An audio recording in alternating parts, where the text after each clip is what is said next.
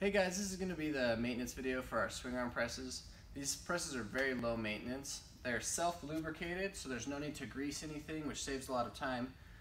There's only going to be two real items of maintenance on these presses, and the first one is going to be to keep the press clean. This is going to extend the life of the press tremendously, especially making sure that we keep this clean seal clean and, and wipe it down because dirt will build up on it and that can get into the system, the oil system, if we don't wipe it down.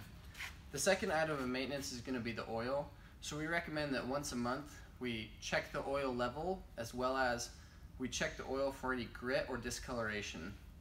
When we're checking the oil level, we want to make sure that the oil is half inch above the filter or more. The the other thing is once a year or every 3,000 hours, the oil should be replaced completely. And we should be checking the filter for any grit in the filter. And if there is, you should replace it at that time as well. And if not, the filter should be replaced at least every two years. So if you have any maintenance questions, you can give us a call and head over to service and we'll be happy to talk to you.